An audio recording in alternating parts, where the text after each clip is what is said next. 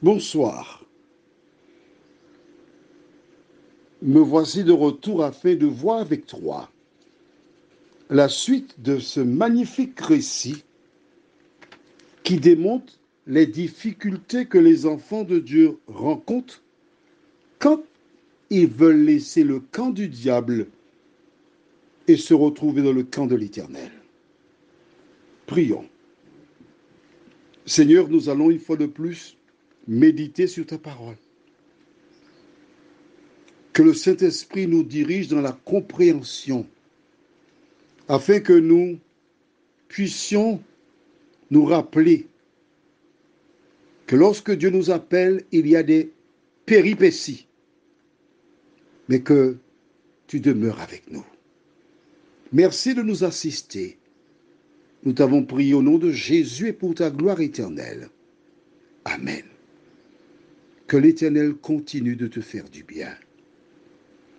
Tandis que nous lisons Exode 13, les versets 17 à 22. Lorsque Pharaon laissa aller le peuple, Dieu ne le conduisit point par le chemin du pays des Philistins, quoique le plus proche, car Dieu dit, le peuple pourrait se repentir en voyant la guerre et retourner en Égypte.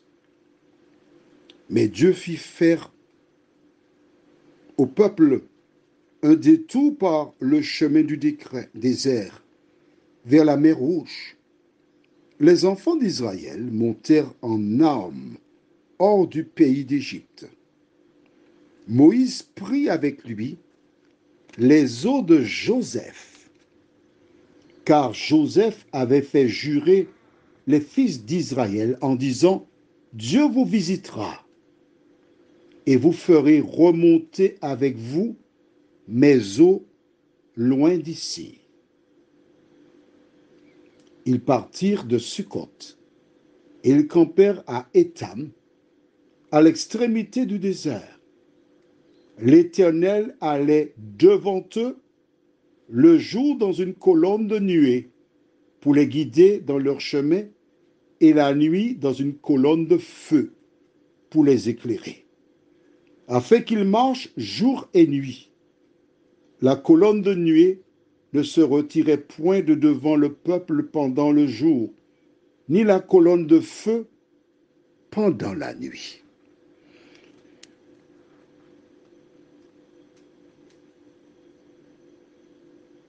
Pharaon a tenu tête.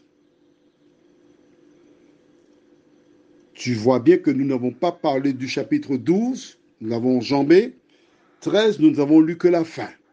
Pourquoi la fin? Parce que la Bible déclare qu'il prit les ossements de Joseph. Rappelle-toi, au livre de Genèse, le livre juste avant Exode, chapitre 50. Et je lis au verset 24 et 25.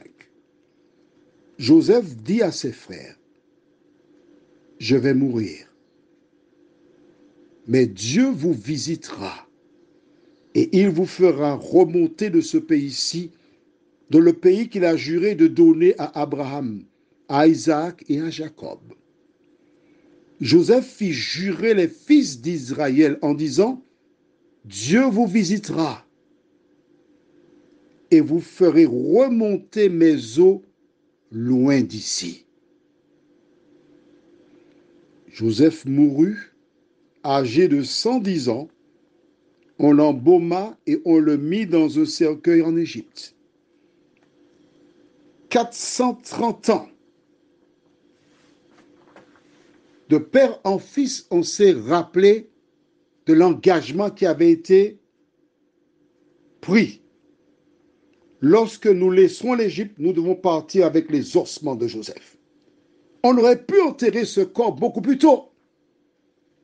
Mais Joseph était le début et la fin de cycle, conformément à ce qui avait été dit dans Genèse 50. Ils récupèrent les ossements et ils partirent en direction de la terre promise. La Bible déclare que Dieu les dirigeait colonne de feu et la nuée de jour.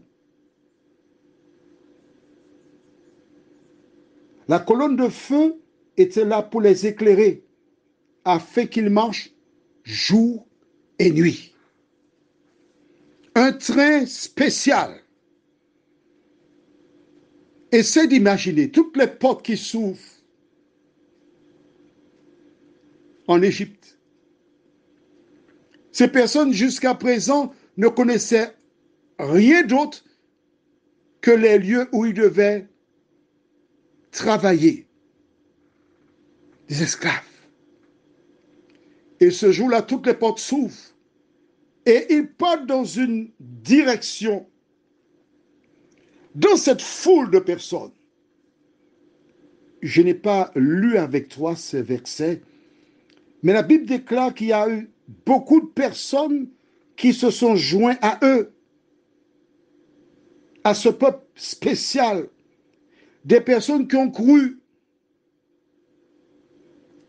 et qui savaient que l'Éternel était le Dieu véritable. Des personnes qui avaient connu l'Éternel. Alors, on va aller dans, parce qu'il faut que tu lises ça, dans Exode 12. Exode 12. Et nous lisons versets 37 et 38 les enfants d'Israël partirent de Ramsès pour Sukkot au nombre d'environ 600 000 hommes, de pied, sans les enfants, ni les femmes. Une multitude de gens de toute espèce montèrent avec eux. Ils avaient aussi des troupeaux considérables de brebis et de bœufs. Tu vois, une multitude de personnes. Voici pourquoi Dieu a fait les miracles les uns après les autres en Égypte. C'était pour se faire connaître. De nombreuses personnes en Égypte qui n'étaient pas des Hébreux crurent en ce Dieu-là, laissèrent leur maison, laissèrent des parents, laissèrent des connaissances et se joignirent à ce peuple parce qu'ils savaient que ce peuple avait un Dieu tout-puissant et avec ce Dieu-là, il ne connaîtrait que le bonheur. Et toi, toi qui entends ces messages audio, as-tu la foi de ces personnes pour marcher selon la parole de l'Éternel? Prions. Notre Seigneur et notre Dieu, voici des personnes qui n'ont pas eu peur. Que se passera-t-il? Ils ne savaient pas mais ils avaient la certitude qu'ils étaient dans le bon groupe, le groupe de l'Éternel. Seigneur, de nous aider, jour après jour, à nous attacher à toi, à vivre pour toi, et que rien ni personne ne vienne entre toi et nous, mais que nous puissions jour après jour, guidés par ton esprit, nous diriger vers la terre promise à toutes celles et ceux qui acceptent Jésus pour sauveur personnel. Merci. Car l'histoire du peuple d'Israël, c'est l'histoire de la race humaine. Merci Jésus d'avoir préparé non pas une terre Canaan pour nous, mais d'être monté, préparer une place, afin que là où tu seras, nous puissions y être aussi. Cette grâce, nous te la réclamons. Au nom de Jésus pour ta gloire éternelle. Amen. Je te souhaite une bonne nuit. Et j'ai hâte de te retrouver demain, si Dieu nous prête vie. Que l'Éternel veille sur ton sommeil.